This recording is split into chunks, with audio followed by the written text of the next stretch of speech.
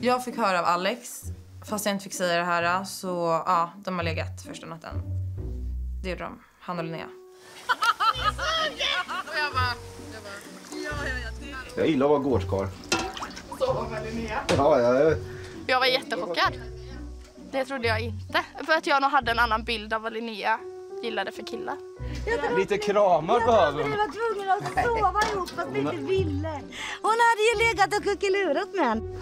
Vissa grejer kan gå fort ibland. Och hon som inte gillar killar hade legat och hållit om honom.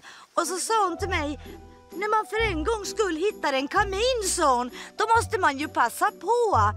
Och jag bara, ja, det är väl inget fel med det. Pussy flower. Var det mysigt?